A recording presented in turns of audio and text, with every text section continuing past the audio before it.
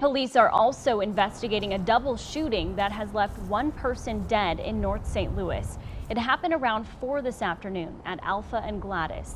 Police say a woman was not conscious or breathing when they arrived at the scene. The other victim is a man who was shot in the arm.